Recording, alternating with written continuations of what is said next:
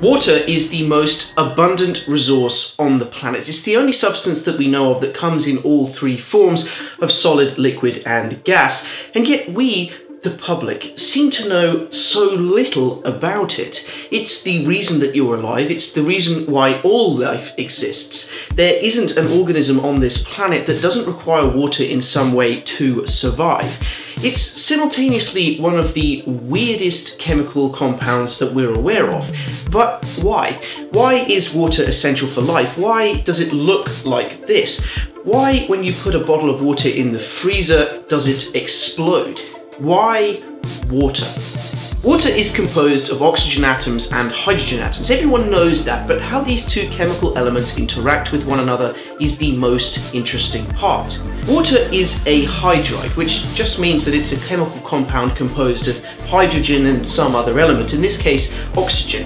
But the boiling points of hydrides are weird. The general rule of thumb seems to be that the smaller the molecule, the lower the boiling point. Hydrogen telluride has a boiling point of minus 4 degrees. Hydrogen selenide has a boiling point of minus 42 degrees. Hydrogen sulfide, a boiling point of minus 62 degrees. And hydrogen oxide, water, has a boiling point of 100 degrees. This is weird, and not just by hydride standards, but for a whole host of other chemical compounds. And the reason for it is all thanks to hydrogen bonding. The same irregularity of water's high boiling point is also true of its freezing point as well. In contrast to other hydrides, water reacts very slowly to changes in its environment, something which is quite integral for life to exist at all. If water had the same relative difference in its boiling and freezing points as other hydrides, then a simple 20 degree drop would mean the difference between steam and ice, something which isn't particularly accommodating for organisms trying to make a living. But what are hydrogen bonds? Why do they exist and why do they form?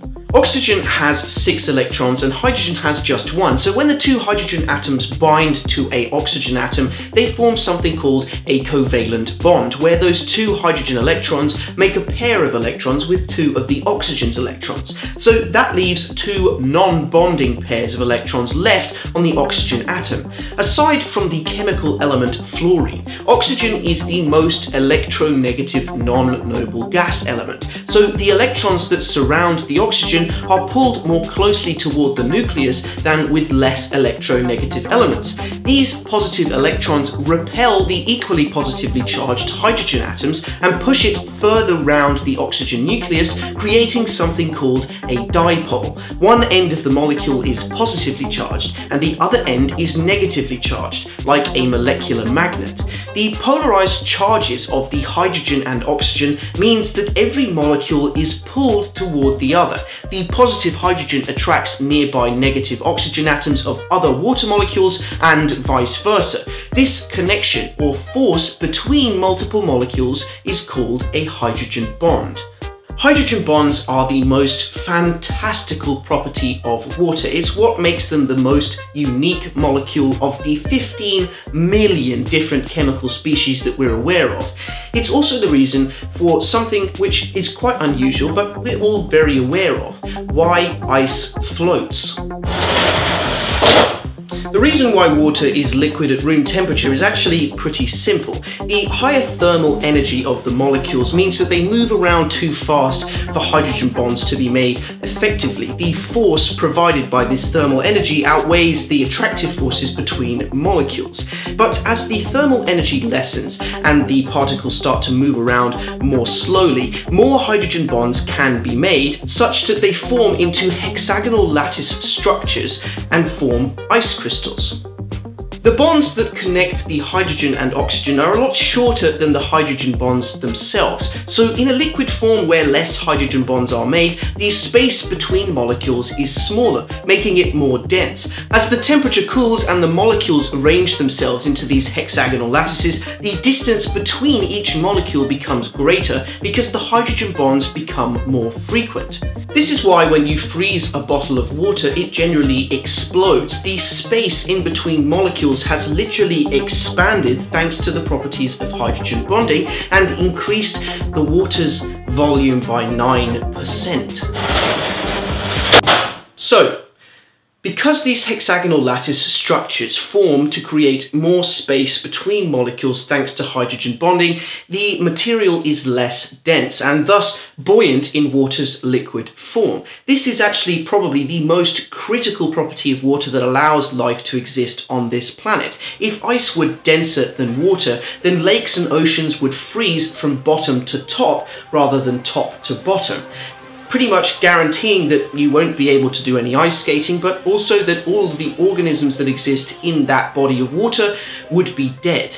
Hydrogen bonding is also responsible for the reason why water droplets look like this. At the center of the solution of water, the molecules are being pulled in every direction thanks to these attractive forces by all of their surrounding neighbors, and so the net force is zero. But on the surface of the liquid, the water molecules are only receiving a force on the half of them facing the center. No forces are pulling them from above. Every molecule on the surface is trying to get to the center, so the resulting effect is an attempt by all of the molecules to reduce the surface area of the liquid. And what shape has the smallest ratio of surface area to volume, a sphere. Then as the water accumulates more water molecules, gravity and its weight start to drag it downwards, and thus it forms the classic teardrop shape we're so accustomed to seeing. Basically, what I've just described is called surface tension, which is effectively how strong are the forces that attract molecules together in comparison to the forces that want to break them apart. The force that attracts molecules together is called cohesion and is exactly the reason why some bugs, like the water strider, can literally walk on water. So long as the force the bug is exerting on the surface of the water is less than the forces of cohesion, the tension in the water creates a floor. And since the feet of the water strider are large and spread out, they move the downward weight given to them across a larger surface area, which in turn allows them to walk on water. You can actually do this at home by using a paperclip. If I take this paperclip here and just drop it in, it sinks, right? But if I carefully lower this into there, floats. But watch what happens if I take a little cotton bud with some fairy liquid on it and just dip it in the solution. Soap molecules are made of long chains of hydrocarbons. At one end is a molecule which absolutely loves being in water, and at the other end, one that absolutely despises it. It is hydrophobic. So when the soap is dropped into the water, these two molecules separate, and the hydrophobic one tries its absolute hardest to worm its way up to the surface. As they find their way to the surface, they squeeze in between the molecules of water on the top, decreasing the surface tension of the water by roughly a third, unbalancing the cohesion, so the paperclip sinks. This is exactly the reason you even use soap to begin with, in order to allow water to flow more easily into the tiny macroscopic cracks in your dishes or the fibers in your clothes or even the little tiny pores in your hands, you need to lower its surface tension. The materials or chemicals that are used to do this, like washing detergents or hand soap or even antiperspirant, are called surface active agents or surfactants. Surface tension and cohesion are also integral in your body, but they're only one half of the equation. On the one hand, we have how attracted molecules are to themselves, and on the other hand, we have how attracted they are to other different molecules. That force is called adhesion and is essential for your existence. As unintuitive as it might sound, water is very sticky. When you look outside after it's been raining, you'll see that some of the water is stuck to the glass. This is because some of the water molecules are more attracted to the glass than they are to themselves, and so they stick to it. This is also why when you put a glass tube in a body of water, it seems to climb up the glass tube even against the forces of gravity. Maybe you've seen something similar when using a straw. This phenomenon is called capillary action. The smaller the diameter of the tube, the more attractive the water molecules are because many more of them are in close proximity to the glass and so it climbs up further. This is essential for life for plants. This is how they allow water to climb up their xylem or equivalent blood vessels so that they can get the nutrients from not just the roots, but all the way to the tallest stems and the furthest leaves. The same thing is true of your blood. This is what allows your blood to move around your body against the pull of gravity more easily.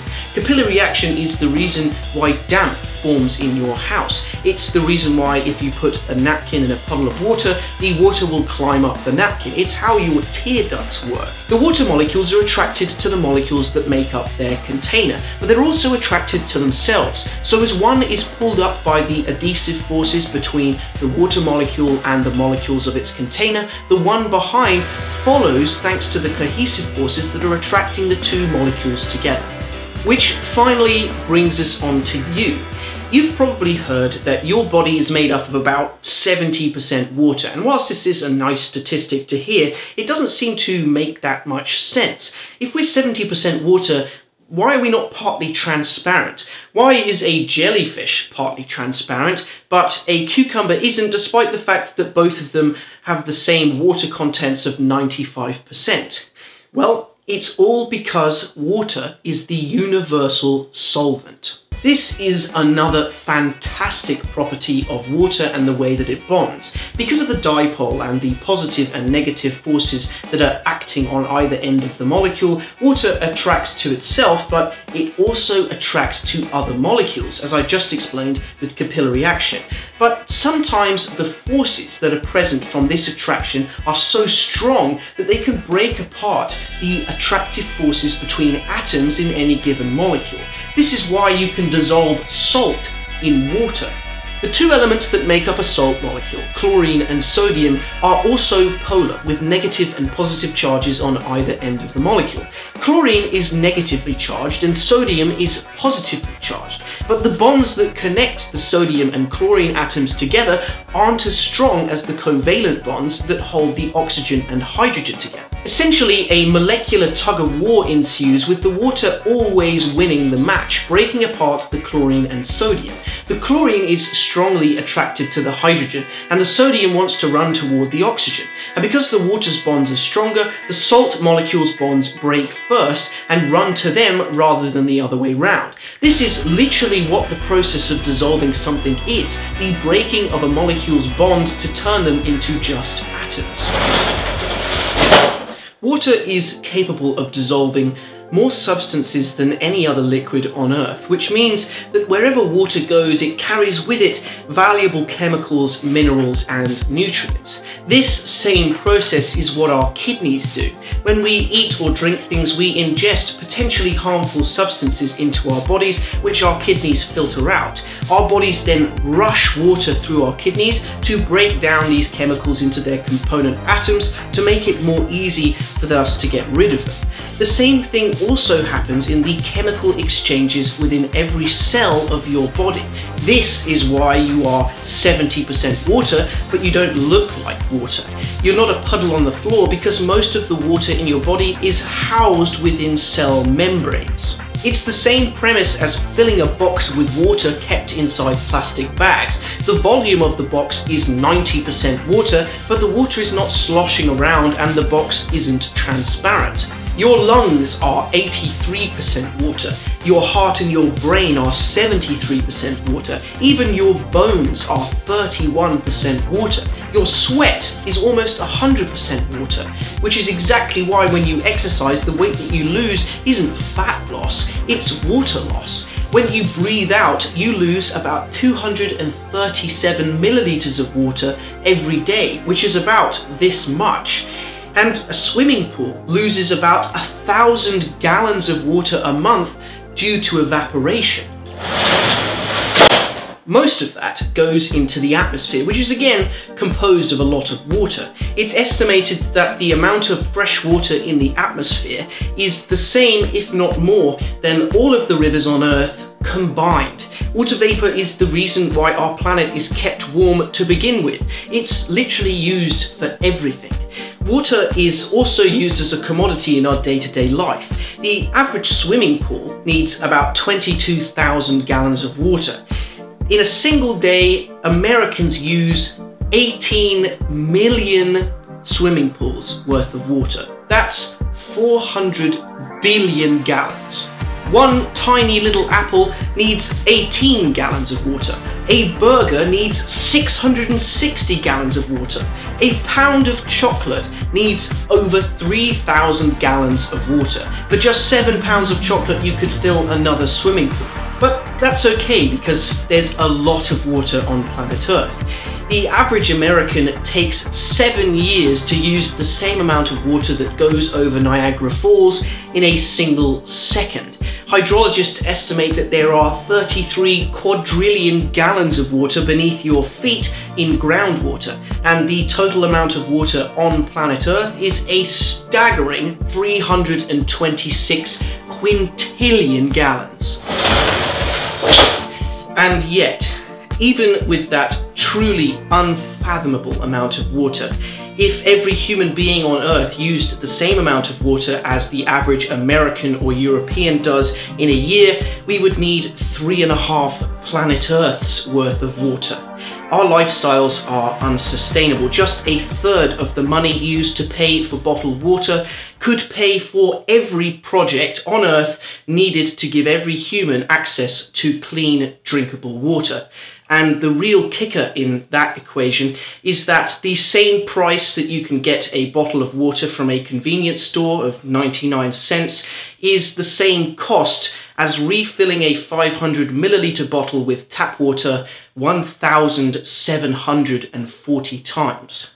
Every day, 780 million people lack access to an improved water source. That's more than the population of Europe. Every hour, 200 children die due to exposure from unsafe drinking water. Every day, 200 million work hours are consumed by women walking to get water for their families. The average American uses 552 gallons of water a day, a hundred times greater than the average African family who use just five.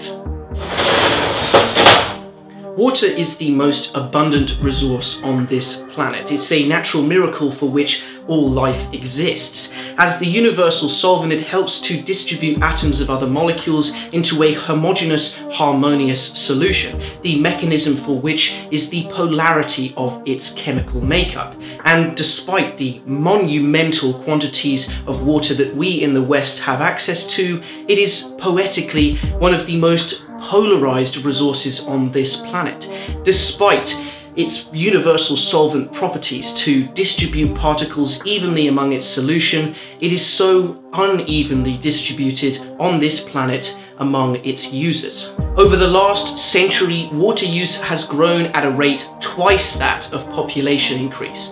How can we fix it? By wasting less. Every year, a trillion gallons of water are wasted thanks to household leaks. That's the average annual usage of about 11 million American homes. A leaky tap that drips at just the rate of one drip every second over the course of a year will lose and waste about 3,000 gallons of water. That's almost twice the amount of the total water usage for a family in the developing world. By 2025, it's estimated that 1.8 billion people will experience a severe water shortage. By 2030, half the world's population. It's important to think about water, to share the thing responsible for your existence with the rest of the world, such that they can continue sharing the experience of existence.